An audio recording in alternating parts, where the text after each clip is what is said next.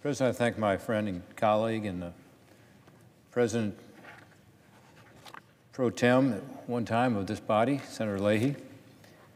Um, Mr. President, I'm here on the floor today to talk about D-Day, to talk about how we need to remember the 75th anniversary tomorrow of a turning point in World War II, June 6, 1944, the invasion of Normandy. Historian Douglas Brinkley has written that D-Day was both the single most important moment in the 20th century and one of the bloodiest and most tragic, too, in terms of loss of life. On D Day, our fleet set forth from the rocky shores of Britain to reach the fog shrouded beaches of Normandy. On board the thousands of ships and planes were our fathers and grandfathers and great grandfathers, some no older than 18 years old, who would bravely venture ashore in a show of determination and duty 160,000 soldiers crossed the English Channel that day. On their backs were rucksacks, some weighing over 80 pounds, but really on their backs was the fate of our allies in Europe, and really the fate of the free world. Were our men to fail that day, Europe might well have fallen to Hitler once and for all. And many of our best and brightest young Americans did fall. We lost more than 10,000 men that day. The Nazis had spent two years fortifying the coast to prepare for this moment. It was Hitler's so called Atlantic Wall. The beautiful coastline of northern France was covered in barbed wire, landmines, and bunkers. Hell had come to earth to greet our men as they landed, and still they fought on gallantly. At the end of the largest amphibious invasion in history, we stood victorious, battered, but unbroken.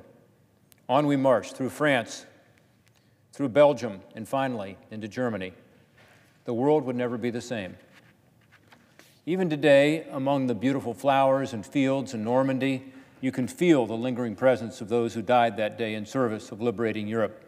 And you can see it, as I have, at the stark, orderly U.S. military cemeteries where row after row of white crosses and stars of David stand defiant, representing lives lost in a noble cause.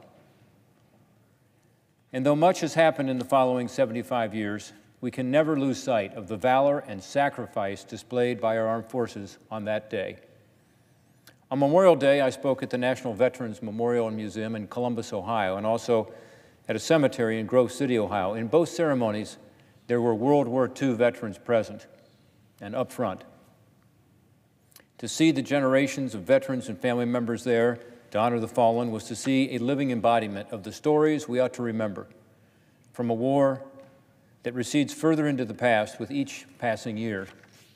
Stories of valor like that displayed by Jim Pee Wee Martin from Dayton, Ohio. On that day, he and the rest of the 106th, the 506th Parachute Infantry Regiment parachuted through German lines into the dark of pre-dawn. Jim was wounded, but fought bravely, earning both the Purple Heart and the Bronze Star for his D-Day efforts. Stories of sacrifice like that of the Napier brothers of Warren County in southwest Ohio. All five served in the war. Two of the brothers of the five landed at D Day. One died there on the beaches, never to come home to Ohio. These are stories to be preserved for the generations to come. The memory of D Day, indeed all of World War II, must never be lost. That's why I was proud to join my colleagues on both sides of the aisle earlier today to show the gratitude and appreciation of the United States Senate for the courage shown by our troops who participated in the Normandy landings that day through our resolution. Since I've been a member of the United States Senate, I've come to this floor often on D-Day to recite a very special prayer given by President Roosevelt on that fateful day. It was expected that Franklin Delano Roosevelt would give a speech when the invasion took place, as he did many times before, called the Fireside Chats from the White House. But on the morning of D Day, FDR was moved to prayer instead. That famous prayer has become known as the D Day prayer. It is my understanding that President Trump actually recited this prayer just yesterday in the United Kingdom at an event that preceded the official ceremonies tomorrow commemorating the 75th anniversary of D Day. The words are powerful and deserve to be remembered for generations to come. In 2013, I introduced legislation, the World War II Memorial Act, which directs the Secretary of the Interior to install a plaque to be placed on or near the World War II memorial on the National Mall in Washington, D.C., with the words of the D Day prayer. I like that because it adds more context and more interpretation to that beautiful World War II memorial. It was Ohio Christian Alliance President Chris Long who first came to me with this good idea of placing this plaque on or near the memorial, given its history and importance. Since that legislation was signed into law in 2014, we have worked hard with the National Park Service, the Friends of the National World War II Memorial, and the two federal commissions that are required to approve any permanent structure on the National Mall. It's been five years now, actually longer than America's involvement in World War II, and although we do not yet have this plaque placed, we have made progress. The commissions have approved the location of the plaque to be just north of the World War II Memorial at the Circle of Remembrance. If you've been to the memorial, you come from the Washington Monument, you'll see the Circle of Remembrance on the right. The commissions have also approved initial design concepts for the plaque, which must comply with the Commemorative Works Act. And we're moving forward with this project, by the way, without any federal funding. That was our concept. Rather, we're relying on private fundraising, not taxpayer dollars. We'd hoped to have the final plaque in place, of course, for the 75th anniversary tomorrow. I'm disappointed we don't, but instead, we will pre preview tomorrow the placement of a temporary plaque with the words of the prayer at the chosen location, the Circle of Remembrance next to the World War II Memorial. At our event tomorrow, which will include the chairman of the Friends of the National World War II Memorial, official from the National Park Service, Chris Long, the president of Ohio Christian Alliance, and a number of World War II veterans, we will also lead a reading of the D-Day prayer. I'm looking forward to that tomorrow. The temporary plaque, by the way, was generously donated to the Friends of the National World War II Memorial by Mr. John Nau, a member of the National Parks Foundation Board, who felt strongly about at least having a temporary plaque in place. We are hopeful that the permanent plaque will be placed at the circle very soon. The fact that a prayer was offered that day, on D Day, by the Commander in Chief is historic in and of itself. But it's the content of the prayer, I think, that makes it so worthy of remembrance. I would now like to read the D Day prayer, if I may. My fellow Americans, FDR began. Last night, when I spoke with you about the fall of Rome, I knew at that moment that troops of the United States and our allies were crossing the Channel in another and greater operation. It has come to pass with this success thus far. And so, at this poignant hour, I ask you to join with me in prayer. Almighty God, our sons, pride of our nation, this day have set upon a mighty endeavor, a struggle to preserve the Republic, our religion, and our civilization, and to set free a suffering humanity. Lead them straight and true Give strength to their arms, stoutness to their hearts, steadfastness in their faith. They will need thy blessings.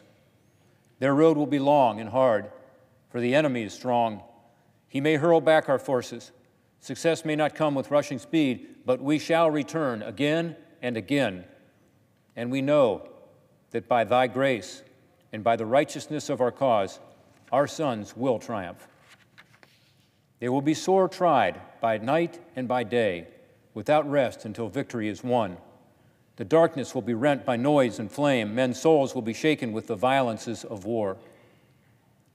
For these men are lately drawn from the ways of peace. They fight not for the lust of conquest. They fight to end conquest. They fight to liberate. They fight to let justice arise and tolerance and goodwill among all thy people. They yearn but for the end of battle, for their return to the haven of home. Some will never return. Embrace these, Father, and receive them, thy heroic servants, into thy kingdom. And for those of us at home, fathers, mothers, children, wives, brothers, sisters of brave men overseas, whose thoughts and prayers are ever with them, help us, Almighty God, to rededicate ourselves in renewed faith in Thee in this hour of great sacrifice. Many people have urged that I call the nation into a single day of special prayer, but the road is long and the desire is great, and I ask that our people devote themselves in a continuance of prayer As we rise each new day and again when each day is spent, let the words of prayer be on our lips, invoking thy help to our efforts. Give us strength, too, strength in our daily tasks to redouble the contributions we make in the physical and material support of our armed forces. And let our hearts, let our hearts be stout, to wait out the long travail, to bear sorrows that may come, to impart our courage unto our sons, wheresoever they may be. And, O Lord, give us faith. Give us faith in Thee, faith in our sons, faith in each other, faith in our united crusade. Let not the keenness of our spirit ever be dulled. Let not the impacts of temporary events, of temporal matters, of but fleeting moment, let not these deter us in our unconquerable purpose. With thy blessing we shall prevail over the unholy forces of our enemy. Help us to conquer the apostles of greed and racial arrogancies. Help us to the saving of our country and with our sister nations into a world unity that will spell a sure peace, a peace invulnerable to the schemings of unworthy men, and a peace that will let all men live in freedom, reaping the just rewards of their honest toil. Thy will be done, Almighty God. Amen. I think you agree with me that these profound words deserve to be made permanently part of our broader World War II memorial for a noble day that we must never forget.